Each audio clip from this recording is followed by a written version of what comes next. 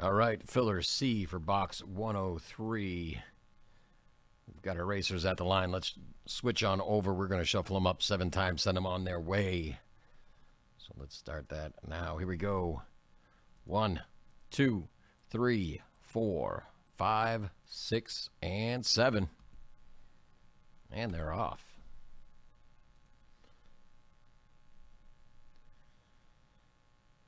All right. Winner of this is getting themselves two two team spots and getting in and break. And that is about to go. I believe we're down to one spot left in that. And they may be gone by the time this race is over because we're down to three, two, one, zero. Greg J, congratulations. We will see you in box 103 of Inception.